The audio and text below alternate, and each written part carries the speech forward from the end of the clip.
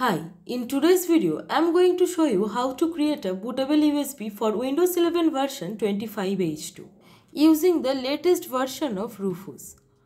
If your PC won't boot or has system errors, you can use the USB to access Windows recovery environment. From there, you can repair startup problems, run system restore, use command prompt for advanced fixes, and reinstall Windows without losing your files.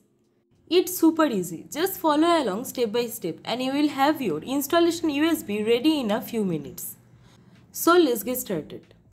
First, we need three things. The official Windows 11 25H2 ISO file,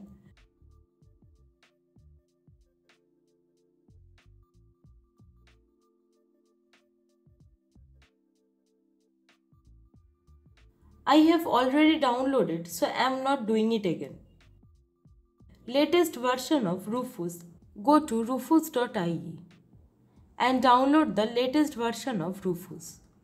Just click the download link under latest release. It's a small file.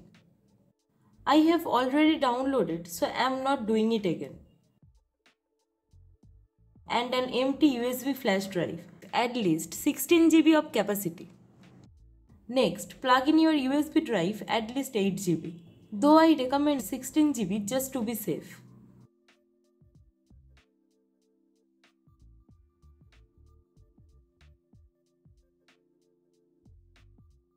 Open Rufus and you will see your USB drive automatically appear under device. If it doesn't, unplug it and plug it back in.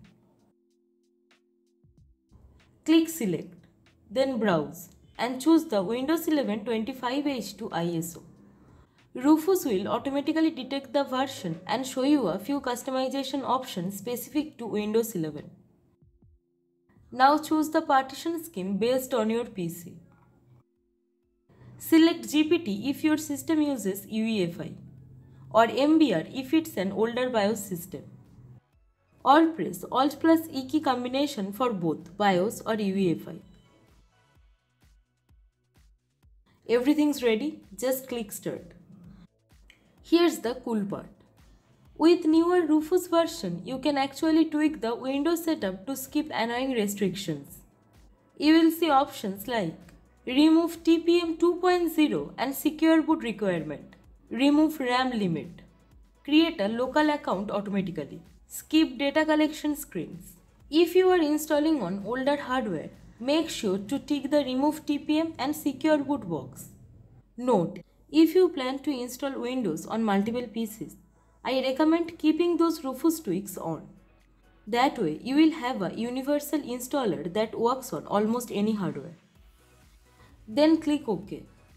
And Rufus will warn you that all data on the USB will be erased. Click OK and let it run. This usually takes 5 to 10 minutes depending on your USB speed.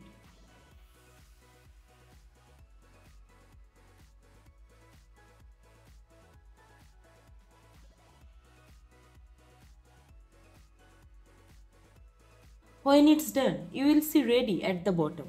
And that's it, your bootable USB is done. To use it, restart your PC and press your boot menu key.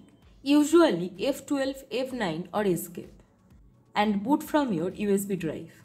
From there, just follow the Windows 11 setup as usual. And that's it. Your Windows 11 25H2 bootable USB is ready.